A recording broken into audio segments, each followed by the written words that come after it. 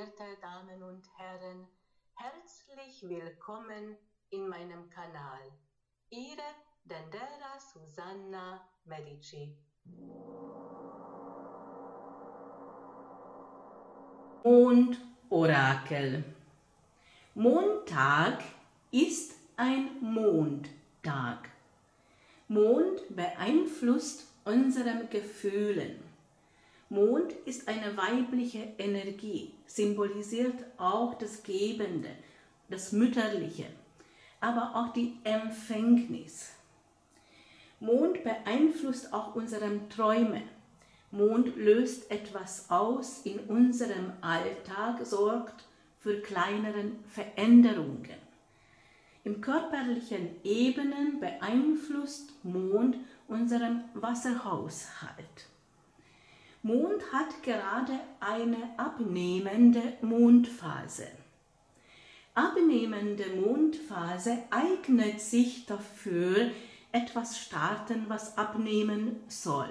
Trotzdem sollen wir die einzelnen Tage auch berücksichtigen, weil es gibt immer wieder Spannungen und dann ist es doch nicht der richtige Augenblick, etwas zu starten.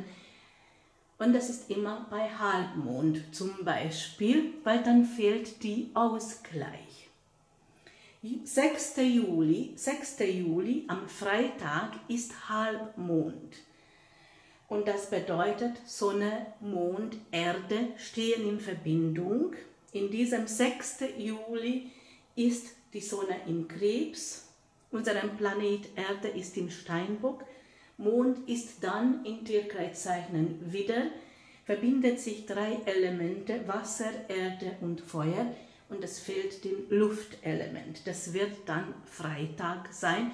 Das kippt die Gleichgewicht und wir sollen Freitag von etwas befreien, aufatmen, in Leichtigkeit zu kommen oder Gespräche führen oder etwas spielerisch betrachten, dann haben wir die Gleichgewicht. 4. Juli und es ist Mittwoch, erreicht Mond Neptun in Tierkreiszeichen Fischen. Natürlich wird die Intuition, die Inspiration, die Träume, die Visionen, die Sehnsüchte sehr intensiv sein. Das aktiviert auf jeden Fall die Mondbewegung. Im 5. Juli, und das ist Donnerstag, erreicht Mond Chiron und das ist ein Kleinplanet, was zeigt, wo weh tut, aber gleichzeitig auch die Heilung. Also Mond aktiviert, wir spüren, wo schmerzt oder kommt Krankheit, aber gleichzeitig die Lösung, die Heilung, weil das wird, diese Heilenergie wird auch aktiviert. Anfang der Woche bewegt sich Mond noch in Tierkreiszeichen Wassermann, das ist Luftelement und sorgt natürlich die Leichtigkeit unseren Ideen umsetzen. Und dieser Wassermann-Mond unterstützt natürlich die Wassermann-Geborenen, die Zwillingsgeborenen, die Wagengeborenen, die Wiedergeborenen, die Schützengeborenen, hilft auch bei Fischengeborenen und Steinbockgeborenen und zeigt etwas, spiegelt etwas für die Löwengeborenen, weil Anfang die Woche brauchen die Löwengeborenen die Ausgleich. Es gibt zwei Tierkreiszeichen, die das Gefühl haben, die Luft geht aus, sie können nicht atmen, etwas bedrückt. Und das wird die Tierkreiszeichen Stier und die Tierkreiszeichen Skorpion sein, Anfang der Woche. Aber das geht zum Glück schnell vorbei. Eine gewisse Unsicherheit vermittelt dann für Jungfrau-Geborenen und für die Krebsgeborenen. Dann übergeht der Mond in Tierkreiszeichen Fischen und dieser Fischenmond bringt etwas in Fluss, intensiviert unseren Gefühlszustand, unsere Träume, Visionen, unseren Instinkt, unsere Inspiration auch. Und das spüren die Fischengeborenen, die Krebsgeborenen, die Skorpiongeborenen, auch die Stiergeborenen und auch die Steinbockgeborenen kommt etwas im Fluss. Dieser Fischenmond hilft für Wassermanngeborenen und Wiedergeborenen. Und für die Jungfrau geboren ist das etwas Spezielles, weil dieser Fischermond spiegelt etwas für die Jungfrau geboren und die Jungfrau Geborenen sollen dann darauf achten, im inneren Gleichgewicht zu bleiben. Dann übergeht der Mond in Tierkreiszeichen wieder und es ist 5. und 6. Juli und das ist gut für einen Neuanfang. Ein Neubeginn kommt auch die Begeisterung und da sind Veränderungen möglich. Und diese Kraft, Mut, etwas Neues zu starten, das haben die Wiedergeborenen, die Löwengeborenen, die Schützengeborenen, das unterstützt die Stiergeborenen, aber auch die Fischengeborenen. Es ist eine gute Energie für die Wassermanngeborenen und für die Zwillingsgeborenen und die Wagengeborenen spiegelt das etwas. Zwar im inneren Gleichgewicht bleibe, mutig zu sein, klare Entscheidungen treffen. Dann übergeht im Tierkreiszeichen Stier, dann ist der Mond im Erdeelement und das bedeutet Sicherheit, Stabilität, Beruf, Finanzen zum Kümmern, auch Veränderungen, unerwartete Ereignisse sind zum Erwarten. Die Mond erreicht Uranus im Tierkreiszeichen Stier. Das uns unterstützt natürlich die Stiergeborenen, die Steinbockgeborenen, die Jungfraugeborenen auch die Fischengeborenen und die Krebsgeborenen spiegelt etwas für die Skorpiongeborenen. Und das bedeutet für die Skorpiongeborenen dann an inneren Gleichgewicht bleiben und wahrnehmen, welche Einflüsse, welche Veränderungen kommen von außen. Dieser Stiermond hilft etwas für die Wiedergeborenen und Zwillingsgeborenen, eine gewisse Einschränkung verspüren, dann die Löwengeborenen und die Wassermanngeborenen und Unsicherheit löst aus bei Schützengeborenen und Wagengeborenen. Das ist die Bewegung des Mondes bis 9. Juli. Und jetzt schauen wir die Legung an. In die Mitte dieser Karte zeigt an die Hauptthema, was unseren Gefühlen beeinflusst oder die kleineren Veränderungen anzeigt. In diesem Bild zeigt die Sehnsüchte. Diese Dame schaut im Fenster raus und hat ihren Sehnsüchte. Gleichzeitig die Unbeweglichkeit und die Traurigkeit. Natürlich berührt das unseren Gefühlen. Entweder habt ihr die Sehnsüchte und eine gewisse Traurigkeit dabei, kann auch bedeuten, dass jemand an euch denkt, hat die Sehnsüchte und die andere ist traurig.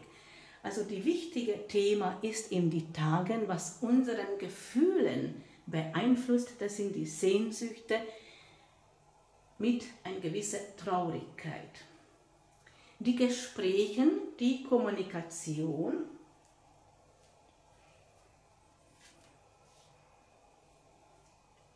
Und durch diesen Gespräch verändert sich etwas oder beeinflusst unsere Gefühle, weil hier bei diesem Orakel geht es um Mondenergie.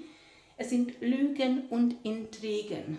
Wir sollen achtsam sein, welche Informationen kommen auf uns zu, ob wir überhaupt alles glauben sollen. Oder kann auch bedeuten, dass ihr Sehnsüchte habt, ihr wollt über Gefühle sprechen und das wäre verkehrt. Also wäre besser eher schweigen. Natürlich kann das auch ein Hinweis sein, das wäre falsch, über Gefühle zu sprechen zurzeit. Diese Karte kann auch bedeuten Verträgen. Achtsam sein auch bei Verträgen, weil das kann auch Betrug sein oder führt zum Verlust. Liebe Partnerschaft wie beeinflusst das die Gefühle? Es ist ein Treffen. Und dieser Treffen ist sehr leidenschaftlich und das befreit auch. Werden auch klare Entscheidungen getroffen. Aber die Zahl 5 erzählt etwas. Es sind noch Einflüsse von außen. Entweder eine dritte Person im Hintergrund oder Gefühlen, was beeinflusst die Liebe. Und das können Gefühlen sein wie Angst oder Zweifel. Und dann ist wichtig das Loslassen. Welche Richtung sollt ihr die Aufmerksamkeit lenken? Weil da braucht ihr Kraft. Das zeigt diese Karte an. In diesem Bild erscheinen die Verletzungen, verletzten Gefühlen oder eine Krankheit. Und es ist auch wichtig, da eine Heilung zu bringen. Aber die Münzen bedeuten oft die Finanzen, Verlust. Und dann können wir die beiden Karten ähm, zusammenfügen. Wenn hier ein Vertrag unterschrieben wird in die Tagen, das kann zum finanziellen Verlust führen, natürlich auch zum verletzten Gefühlen. Die rechtliche Lage oder das Glück, beide in einen Platz. Das Glück ist die Ausstrahlung und Auftreten, das heißt, alleine mit eurem Auftreten könnt ihr die anderen beeindrucken. Und in die rechtliche Lage kommt eine Verbesserung. Und weil hier auch um Glück geht, äh, die Chancen, Möglichkeiten sind da, dass ihr dieses Glück anzieht. Welche Lernaufgabe gibt? Und das hat mit Gefühlen zu tun, weil immerhin ist es ein Mondorakel, konzentriert zu sein. Im Bild sehen wir zwar die Finanzen, das Geld, aber die Bilder haben symbolische Bedeutung. Das muss nicht das Geld sein, kann sein, aber muss nicht. Auf jeden Fall ist wichtig, dass all das, was euch gerade begeistert, wo ihr das Gefühl habt, weil ihr das lebt und ihr setzt das als Ziel, die Lernaufgabe ist die Konzentration. Was ändert sich in die Tagen? Das, was momentan unbeweglich erscheint, kommt eine Veränderung und kommt alles in Bewegung. Welche Träume kommen zum Erfüllung? Welche Visionen, welche Träume habt ihr? Das ist die Liebe, Partnerschaft, ein Treffen, eine Verabredung oder jemand kennenlernen. Hier wird noch Grenzen gesetzt, über diese Grenzen zu gehen, befreien von etwas. Das sind die Wünsche und die Träume und die Chancen sind da dieser Wunsch, dieser Traum zum Erleben. Die beiden Karten haben auch Ähnlichkeit, diese Sehnsucht, was die Hauptthema ist, kommt zum Erfüllung, kommt etwas in Bewegung. Hier die Veränderung, die Bewegung und hier ist schon die Verabredung. Was gibt in die Tagen euch Kraft? Und das ist das inneren Kraft. Und das sind die Chancen und Möglichkeiten, zu erkennen. Kommen Überraschungen, unerwartete Ereignisse und das sind schon Chancen, Möglichkeiten. Astrologisch würde das 9. Juli sein, wo Mond erreicht Uranus und das sind plötzliche unerwartete Ereignisse. Natürlich sind es auch Chancen. Und das war dieser Mondorakel. Ich bedanke mich für das Zuschauen. Mein Name ist Dendera Susanna Medici.